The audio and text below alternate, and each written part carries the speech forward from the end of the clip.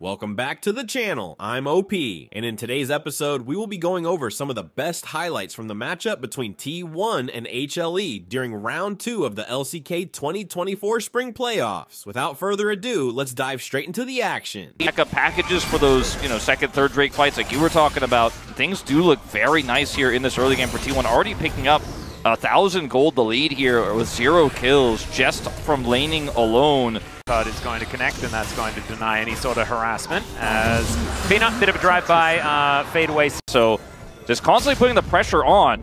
Speaking of which, uh, Peanut is now going to find Oner. Gets a full combo here as Oner is just trying to get himself out. Emperor's Divide, and they push the Rell away. The crashdown is going to come through as Shattering Strike is a fair bit of value, but it's not going to get out of the... Pretty successful. Zeka did not have his ult.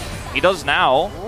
Faker, no package available here as uh, Peanut does slow Faker down. Oner is going to be here. Flash out from uh, Faker, but there's the audacious charge from Peanut. They get the knockoff, and Faker is going to be taken down, and Emperor's Divide immediately follows. Oner this time is going to be able to flash and will take the lantern away to safety, but still will eventually just be able to uh, hop in a tunnel and get himself out. Hanwha Life will be able to take the prize of a Drake unless Oner is able to do something about it. They do get a bit of information as he gets on over. There's going to be the steal, but it might be a sacrifice of his life as well. Magnet Storm comes in and he takes the lantern!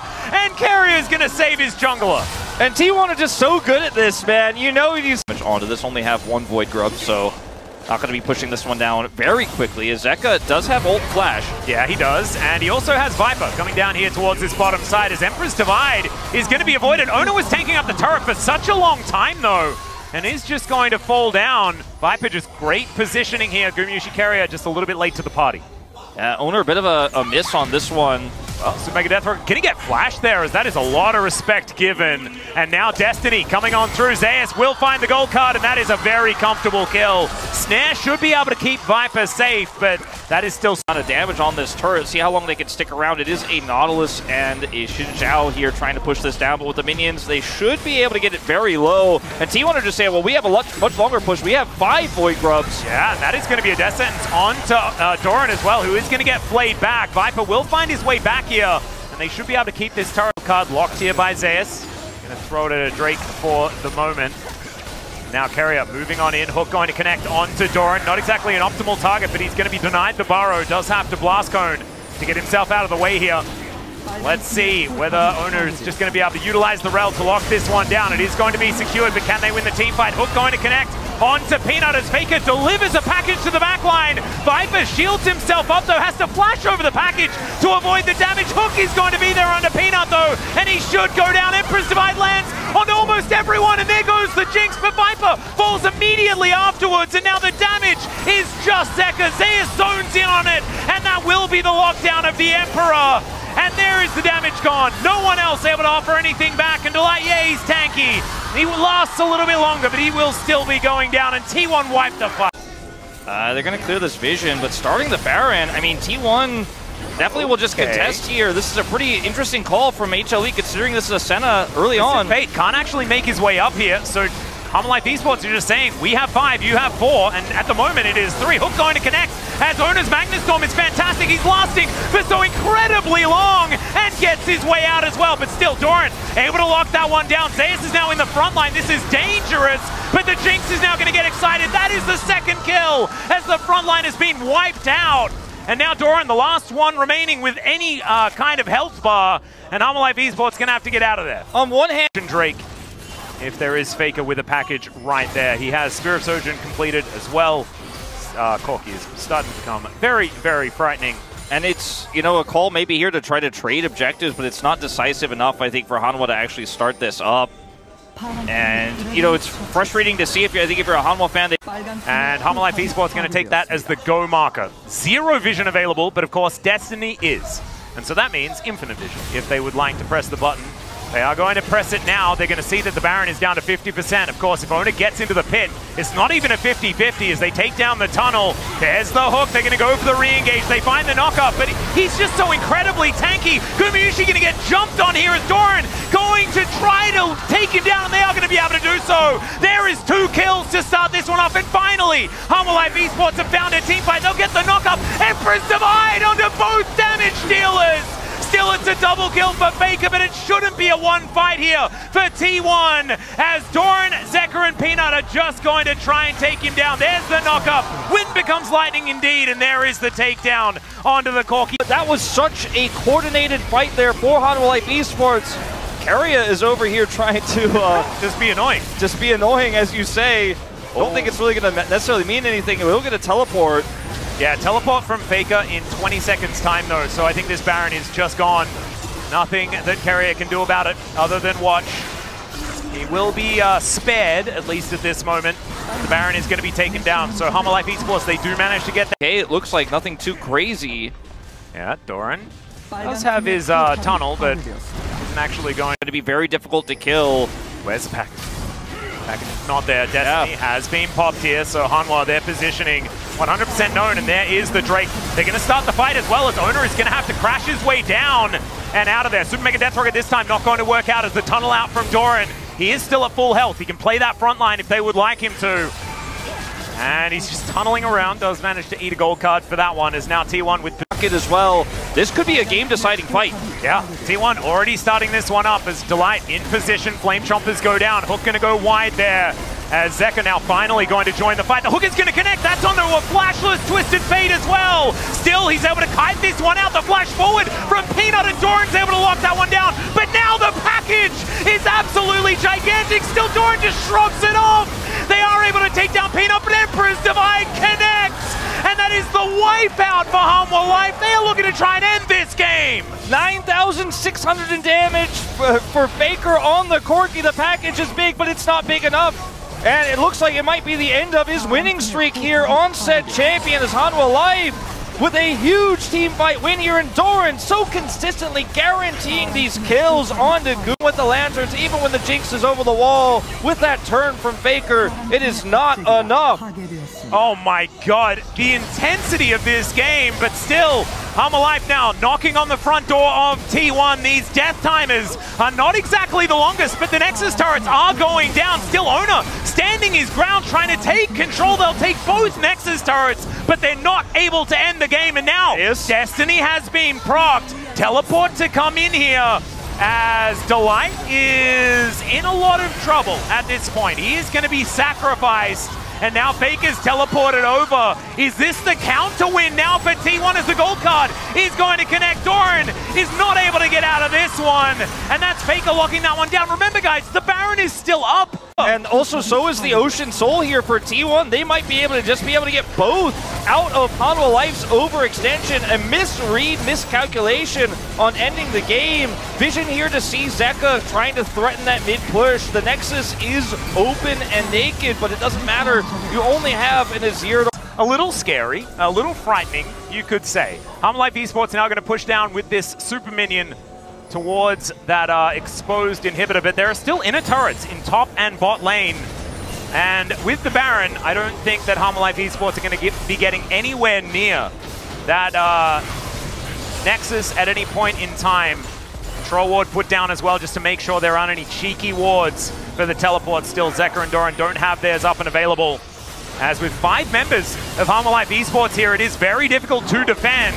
And now Magnet Storm is going to get that engage on through. Peanut taking so much damage now, able to use Oner to try and taxi out, but the double knockoff is fantastic from Doran. They take down the Thresh and the Rell, and now Gumayusi is exposed. He's going to get snared, and now the game is finally over. Hanwha Life Esports, it looked dicey after that push failed, but this time around, the Nexus will go down. And on the red side, Hanwha Getting a knockup onto the Zeri. Zeri will just outdamage you, and early fights around Drakes become so incredibly hard to pilot here as T1 that I do really like this draft. At this point, Oner going to start off the bubs. I'm pretty sure Delight knows what's going on. Peanut is going to dive out as the hook comes out of nowhere. Thanks for that one, Jonas Strong, for the jump scare as they do find the permafrost onto Oner. The flashes come forward, and there is first blood going to the Sejuani. percent health.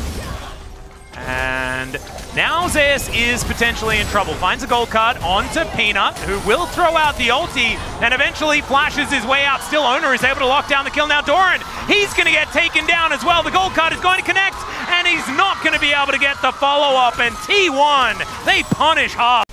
As Doran is here on this top side, doesn't have his teleport available. The Twisted Fate still on top side of the map as well. as Oner going to safeguard his way in, and he's just going to steal it away. It's highway robbery from this Lee Sin. He's even able to interrupt Peanut, who does get the permafrost. Viper now looking for an opportunity, but the kickback is too good. Emperor's Divide also fantastic, and the burst fire is there. Keria gonna get taken down into his zombie form, and he's gonna find no value. And Wolf, are we certifying it? I'm gonna certify it. I've got my stamp out right. He can't do anything here, and Corki can't do anything either. Whoa. There's a lot of people here in this top lane. Sorry to interrupt. No, it's all right. We're going to see whether Peanut can actually try and get some sort of gank working as uh, in goes Doran, finds a counter-strike onto two. Q connects here, but the dredge line, the depth charge, absolutely fantastic here from Delight. Still, there is the package delivered right underneath the turret. No one's gone down just yet, though. Another hook is going to connect as they're trying to juggle, and there is the kill going over to Delight. Ekka's coming up. Yeah, this is starting to get scary. These health bars are relatively low, but Zeka is kind of here by himself. And he doesn't have ult. Yeah, it's not exactly a, uh, a kill opportunity. Down this early Senna right now on Hanwha Life side, and I think opting into this and losing another fight to this Zeri is just opting into losing this second game. Yeah, Oner is on vision, remember, as Zeka is just going to deliver him to the rest of Hanwha Life, and Viper is now on a killing spree. It's a disaster for T1. Ganking Zeri, uh, the most unexpected of gankers, as he is now just going to shove this wave towards the turret. This has been, like, the most unfettered Zeri ever. The Scion, as they are going to try to come over here and contest this Herald now, Hanwha Life, they win this one, it's pretty much lights out. And T1 just walk away. And that is the concern of this accelerated Zeri. And I mentioned this in draft. I feel like the Scion can't really do what a Nautilus could do. Scion is kind of an ult button and a very large Q that if you stand in, you know, he makes an impact in the fight. If you don't, he doesn't do what a Nautilus does. And he's just a victim of vision. Yeah, And this is going to be the mid turret going down before the charge even happens. So now Shelly going to keep that health bar as Doran does have his counter strike, and it's going to be difficult here for uh, Oner to find too much. Does just to be very cautious of this. He can both get this outer turret bottom side and make an impact here top side. There's that TP. Yeah, and now the flash forward from Delight. He'll find the depth charge onto Gumayusi, and this center is in a lot of trouble. Zeka going to fly on over, does find the Arise, and then the Sand Soldiers will finish the job. Doran know that this guy is always just going to be good in a team fight. Could we be looking at exactly what I was saying before, where it's T1 falling down 0-2, as this might mean no, as Dawning Shadow is going to fly on over as well, and there goes the Azir. Now Doran, that is an unfortunate teleport, if ever I've seen one, as Keria with a celebratory faceplant into the There, Very strange exchange as he will be able to get uh, Doran's teleport and his flash as well, but Okay, Hook is going to connect here as there's the ulti out from Viper. Faker now in a whole lot of trouble as the Piercing Darkness comes in, but the flash forward from Viper says no. And now the Mega Cone from Gumayusi. Still Viper able to get these burst fires over, just dashes over the wall. There's the Extendo Beam, but good sidestep from Gumayusi. Still necessarily ultimately matter that much as Doran is still Jax in the side here, and now that he's shadowed, now that they push the Senna away, he should be able to get this turret as well. We'll put Hanwha two turrets up on T1, a Fed Zeri, and make proactive plays as Keria fail flashes the wall there, Ah, and that's why he ulted like that. And uh, it's a little bit rough as Faker gets caught here as well by Delight, who just feels like he is everywhere, man. It's a global Nautilus. He's just involved in every single fight that T1, or rather the Hanwha There they go. Um, Hanwha have already backed away from this one. There's the kick forward. Good Arctic Assault there, but Doran's still going down so incredibly low. Delight also having to flash away as there's a Flash Emperor's Divide, but it's whipped entirely from Zeka and T1 will punish immediately. Now Viper still trying to get damage down, able to buffer that gold card nicely, but now with a man advantage, T1, they might just move over to the Baron themselves. Oh man, Zeka's gonna be feeling that one tomorrow. He better stay off the internet for a little while, as that was such a cool idea. But the rest of his team was clearly backing out. He goes for it anyways. Now, Hanwha Life, they're not just gonna go, go quietly to that good night. They've got to Fed Zeri. Oh, yeah. They're gonna contest. These extendo beams are scary. There's the hook in, but he's not as tanky as he was last game. And Delight will just immediately get punished. Enut has Flash. Yeah, they want to try and get on in here. Doran's at full health now as Viper has pressed that ultimate button. This is kind of a Zeri fight, and he's going to take out Zeus first. Into the pit they go, but the Baron is still going to go over to T. Uses packages here. And he may just simply opt into the fights they know they have guaranteed prio on. To avoid getting packaged whatsoever. Whoa, there's another flash forward here as Emperor's Divide is going to be used just to get Zeus out of here. The ulti comes through from Viper. He does do a lot of damage, but T1, the Phalanx. Try to deal with him in this side, but it is a Jax inside. He's looking for Faker, actually. I don't know about this. Faker is going to have to flash, but there's a flash through from Doran. Dawning Shadow does come down, but there is another leap strike, and Doran gets himself out. And okay, Doran. I mean, he's, that, uh, he's starting to become scary. yeah, that was A little bit of a gank attempt there from T1. 44 minute uh, seconds prior to this Baron. Ooh, As Peanut. Yushi could be in trouble. The smite to break the shield does manage to find the ulti, and boom goes the dynamite. Six and zero now for Viper and Hanwha Life Esports. They can have control of the river. How do you like that? Necessarily a target that you can burst down. Still, they get the Destiny out from Zeus, who is now just going to turn his attention back towards this Baron one more time as well. He's found his way in behind enemy lines. Good zoning smash there from Keria, but they're losing control quickly as Viper is level 16. Yeah, package is going to be delivered just to Peanut here, as it was probably wearing off. And now Delight going to answer with that depth charge. The flash over from Viper, the assassin Zeri! And Oner is going to kick him away, but it's not going to be anything that's actually able to help out here. As now Keria taking damage. Oner will be taken down. There goes the Jungler, and T1 are falling apart. Somehow that Glacial Prison connects onto Keria, and now five versus three. Hanwha Life Esports will start off the Baron. Another hook is going to connect Zeka! on Zeus, and Zeka is going to make up for that ultimate from earlier. Peanut finds the Arctic Assault Flash, and Zeus will be taken down. His opposite knocking up the double, and there's the Baron for Hanwha Life. Hanwha Life Esports going to take this Baron and with it control over the map for the foreseeable future, if not for the rest of this game. Keria, very tanky. See if he can get his way out of this one. Yeah, I don't some think portal so. combat here on the top side of the map. Doran is going to break that vow. And Keria's running the wrong direction. He is likely going to die here. His ult And is coming up. will almost be the ace, uh, but it's not as T1 as Guma is trying to kite back into the front line, but Oner is isolated, and Guma is eventually going to get caught by Zeka as he does come in for this follow-up. As look at this, we'll watch it forward. Gonna turn on the Baron. Guma's like, well, I have to do damage. Done. I don't know if this Zeri dies ever. Yeah, he is an absolute monster. He definitely hasn't died so far this game, as there is a knock-up on a Peanut, and Peanut does not care about it whatsoever. 6,000 gold the lead for Hanwha Life Esports. They denied the soul. That is not all that relevant because it's Chemtech Hook just barely going to whiff there from Delight. As you can see, Zeus just trying to push out these waves so that Hanwha Life ridiculous. He is our highest level in the game as Delight is going to find Zeus. In goes Doran as well, and they will be able to lock him down. Gumayusi, he just pops like a balloon, but still, Delight taking a lot of damage. The package delivered. Oner looks for the opportunity. Emperor's Divide avoided, but he can't avoid the prison. And now Faker has to flash away. He does manage to take down the Jack. The extender beam avoided as well. But he's still moving the wrong direction. I don't think it's going to be enough to save them. It's only three kills. And Faker might be able to keep himself alive, but Peanut is going to come on over. He flashed managed to lock him down. As you mentioned, the teleport out from Faker, but still, Hanwha Life Esports now, they've got Nexus turrets in their eyes, and they've got a match point that they're looking to secure. They could just go back and take Baron here. Very uh, funny series of events. You know, the fact that they try to flash on Faker to stop his TP, the fact that he gets out, means that T1 actually have these respawns coming. But Keria Yeah. and Hanwha Life Esports just put Doran in the top lane, continue to push this.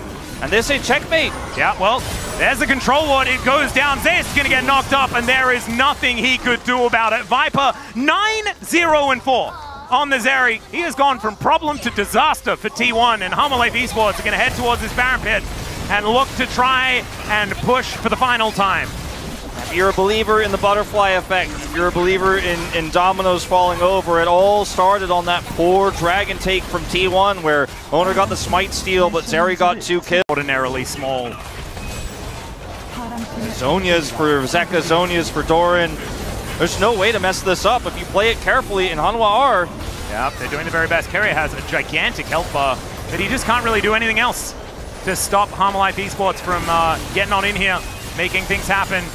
Guardian Angel done for Viper, so they're going to have to kill him twice in this fight if they are actually going to be able to hold on to this game. But you can see there are multiple siege minions still bearing down on the base. And now Doran goes in. He finds the counter-strike onto Zeus. And now Zeka gets in there. The explosion of damage is now they're in range of Viper. And that means that it's Hanwha Life Esports in range of winning the series with match point now available. Hanwha Life showing up in a big in this matchup. Yes. I like the draft here from Hanwha Life Esports. I, now, I think obviously this game is not about the draft purely. It's going to be about how much T1 by Oner. Does do a fair bit of work, but you can see Peanut looking for a little bit of a turnaround. When Becomes Lightning does come in, as Zeka will have the inside track here on this particular battle. Blastcone comes on over. There's the flash forward, and Oner locks down First Blood. Immediately it is answered, and somehow it's in fact Peanut that locks down the kill. Getting the kill there before he can react, but Oner's never going to mess that up. Yep. And uh, he ends up getting First Blood, so really nicely played by him, all things considered.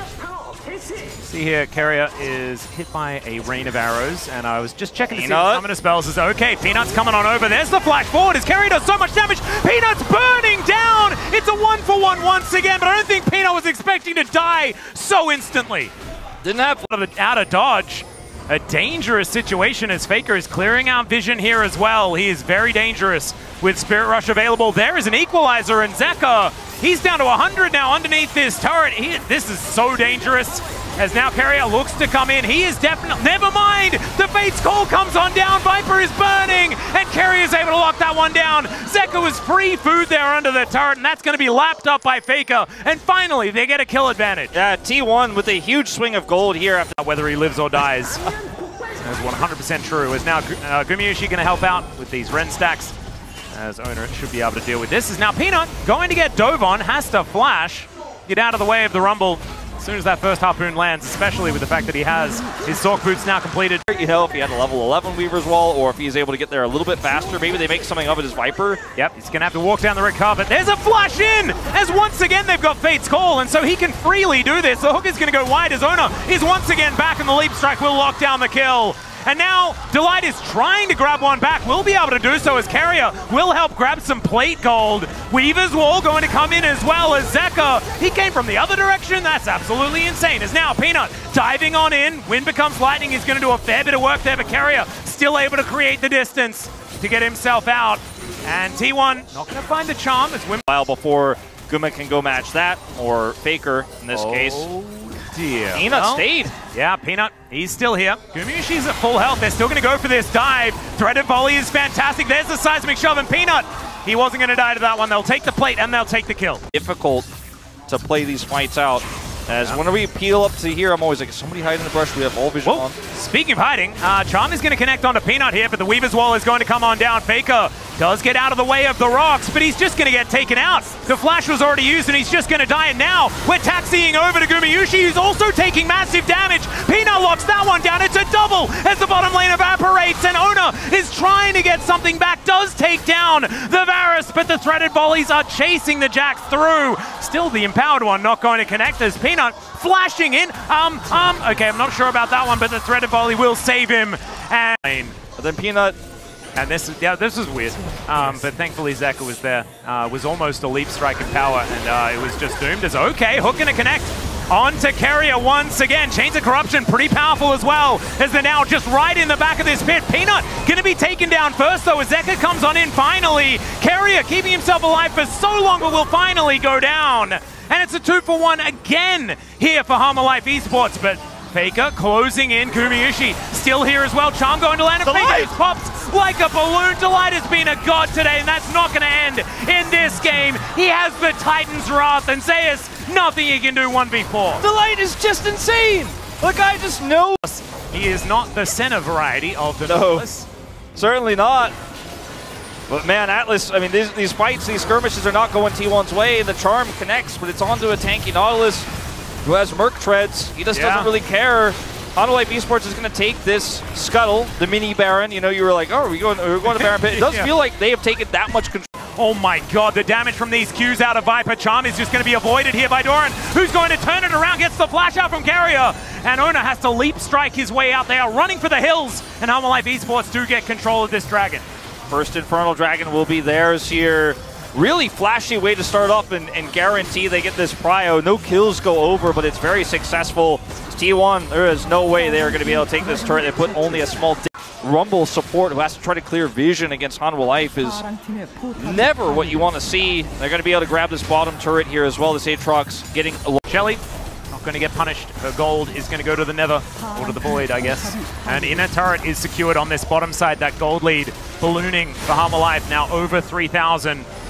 And are just moving into their jungle. Okay, there's a seismic shove onto this Rek'Sai. Does try to get on top of Viper, but he's just not low enough. No execution available. Immediate map play to be had. And man, Hanwha Life Esports came to play today. And you can just feel the desperation oh, of the T1. one as the Q connecting. Keria just going to get wiped out by Zeka on his Taliyah that's starting to become one of the champions in his wheelhouse. Wolf, we mentioned. Get slimmer and slimmer every time you miss them. Oh dear, Peanut finds Oner one more time. Wind becomes lightning, will not find the mark as the Weaver's Wall left a little to be desired. Is Equalizer going to come down to protect the teleport? Still, Delight just straight up does not care about that one. Peanut also getting taken down relatively low, but that double knockup was too good! And now Faker is having to get out of there. It's not going to work out. Still, it's a fair bit of damage, but it is not enough. They are too strong. Still, into the backline goes Zeus. Zeka able to find a lot of damage onto the Rek'Sai, and he shouldn't be able to get out. Still, those couple of kills onto the bottom lane could be important to try and keep T1 in there. Still, it's going to be the ace, and it should still be the Baron for Hanwha Life. I don't think uh, anybody would have predicted. A lot of people predicted. But now, still with this minion wave bearing down on the top in a turret, it is likely they're just going to be able to take this one. Equalizer does come on through, doesn't do a lot of damage to these minions as they're baroned up and the flash out from Keria as, all right, Doran, I'm not sure about this one, but still, he pops the World Ender. He's going to go down, but Keria should follow suit. Zeus gets back underneath his turret. Faker is just in the side lane trying to get them whatever bounty gold they can find, and it's working because the Baron power play has gone down. Yeah, he is actually staying here as well. Zeka's going to uh, they might also be able to find themselves a dragon. Yeah, they might be able to. Now, okay, there's an interruption on Zeus. Uh, they're, they're buying time to secure the dragon. Uh, which they are going to be able to do. Yeah, at the cost of their inhibitor turret here, Zeka is also pushing mid. One dragon here, if it was Infernal Soul, you'd feel pretty good about this. It's turned about here in trade for inhibitor turrets and a kill onto Zeus as they're actually just going to get the whole inhibitor. T1 trying oh. to set up the flank. Yeah, Zeka in trouble. He's going to get charmed up. It's a lot of damage out from Faker as the flash has to be employed. Still, Hanwha Life Esports are continuing to push. Uh, this in, this Nexus turret taken down to 50% health, and Weaver's Wall will get Zeka on over. So five members of Hanwha Life Esports now in position, but they do want to back away. Ryushi does get his shield broken. Just kind of walked into his death there. It was really, really cute play around the mechanics of the Rek'Sai. He does have three items. He's very tanky, but Hanwha Life Esports, they are looking to take down this inhibitor turret. And every auto from Viper is so scary. Still, Equalizer does come down. Chains of Corruption go wide. But still, how did T1 approach there's rocks on the ground. There is so much poke available here as well. And there's a hook that's going to connect. The charm lands onto Viper. Zeus gets into the back line as well. And Viper is going to be taken out. Delight is extraordinarily low. They take down the Rumble. But T1, this is the best fight they've had so far. And Gumayusi is still untouched. Doran trying to get some work done, but he goes all the way into the sky. Oh my god. Never you mind. This Aatrox is too big. And he's just jumping all over the top of T1. Uh, he missed a lot, but it doesn't matter. He's lethality Aatrox, and he won't miss the autos. And once he gets on top of Guma, he takes him out there. Great fight for T1 all day. Auto attacks and stuff like that. He's got the Profane Hydra. The three items that he needed have been completed. Serylda's now done as well, as now Hanwha Life Esports getting to work on this Baron. My god, it goes down so quickly. The wall is put in the way of T1, and there's nothing they can do about it. I'm alive now with another Baron ready to push down on an exposed Nexus, remember. Faker loses a third of his health bar just to one arrow. And doesn't find the charm as Delight will find the hook onto the Rek'Sai. Not exactly an optimal target. And now Peanut, he's going in. Equalizer goes down. Crescent Guard, my god, this damage is disgusting. And Hanwha Life will just get rid of the bottom lane immediately. The knockup comes in, the prepared seismic shove. And yeah, that Void Rush not going to be enough to save the Rek'Sai this time. And Hanwha Life, a 3-0 over T1 in round two of playoffs. T1 will now have to face off against D plus Kia in the lower bracket. a very, very decisive and one-sided series. These were some of the best highlights from the LCK 2024 Spring Playoffs matchup between T1 and HLE. Which moment was your favorite? Let me know in the comment section below. This is OP, and I'll see you tomorrow. Take care.